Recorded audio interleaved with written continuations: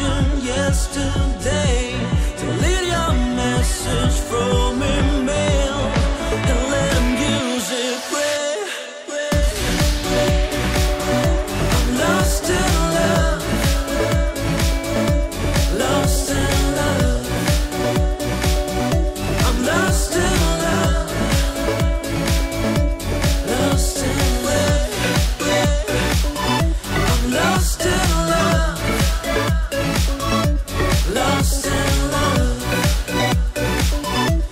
I'm still love.